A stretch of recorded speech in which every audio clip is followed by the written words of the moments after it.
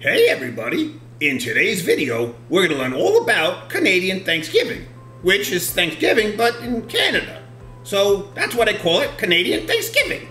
For Thanksgiving in Canada. Uh, kids go. But before we do, make sure you like and subscribe. for more videos just like this. Ready to learn about Thanksgiving in Canada? Or Thanksgiving Canada? I mean Canada Thanksgiving? Oh, let's just start the video.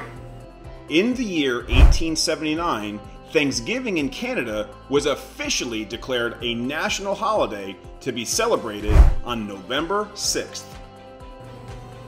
However, the date changed and now Thanksgiving in Canada is held each year on the second Monday of October. The Canadian Parliament made this change on January 31st in 1957. Many Canadians preferred the new date in October because it worked better with the completion of much of the harvest in Canada. And just like in the United States, a common image seen during Thanksgiving is a cornucopia or a horn filled with seasonal fruits and vegetables from the harvest. Thanksgiving in Canada also gives the chance for Canadians to come together and celebrate a bountiful harvest, as well as any good things that they received the year prior.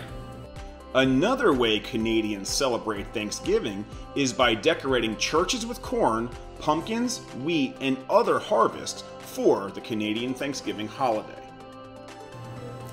Most people and families make special Thanksgiving food with family on the Sunday directly before Thanksgiving. Some of these special dishes include roasted turkey and beef along with ham. And let's not forget mashed potatoes, stuffing, sweet potatoes, gravy, cranberry sauce, and pie. Canadian Thanksgiving is now recognized as a holiday in most areas of Canada. However, the Atlantic provinces of Prince Edward Island, Newfoundland and Labrador, New Brunswick, and Nova Scotia do not recognize Thanksgiving in Canada as a federal holiday. So you may know about Thanksgiving in the United States, but what is the difference and history of Thanksgiving in Canada? Some historians believe the first celebration of Canada's Thanksgiving happened in the year 1578 during the voyage of Martin Frobisher from England, who was in search of the Northwest Passage. You see, Martin Frobisher had been trying to find a northern passage to the Pacific Ocean, so he decided to celebrate surviving that long journey from England through all of the different dangers like storms and icebergs. It was not because of a fruitful harvest. However, others say the origins of Canadian Thanksgiving are traced back to French settlers and the explorer Samuel de Champlain, who came to France in the early 17th century, and they celebrated their successful harvests. And other researchers say that there is no compelling narrative of the origins of the Canadian Thanksgiving Day.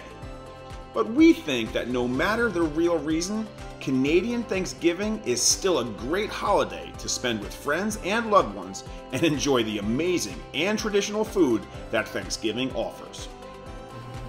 Well, hey, guess what? Now we know all about Canadian Thanksgiving or Thanksgiving Day in Canada. Thanks for watching, and don't forget to smash that thumbs up button. It really helps out our channel. Sure does. Make sure you subscribe.